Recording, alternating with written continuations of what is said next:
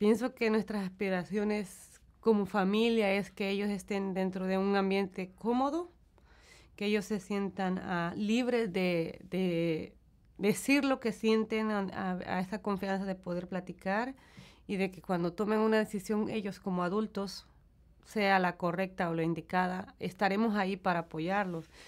Y pues cada día siempre tratamos de, de hablar mucho con ellos, a veces ellos dicen, ya no queremos hablar porque cada día estoy preguntándoles esto y esto y, y, qué pasa, no quiero saber qué pasa durante esas ocho horas que yo no lo veo en la escuela.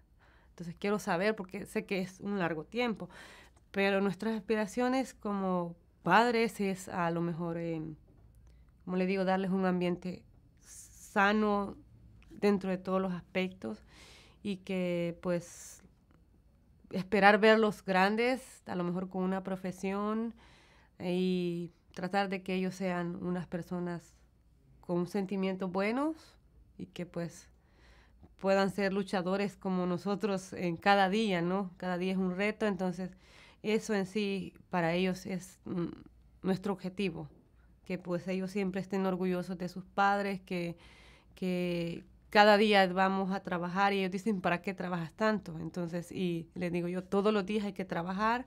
Si mami y papi trabajan, ustedes también van a trabajar a la escuela. Ese es su trabajo ahora.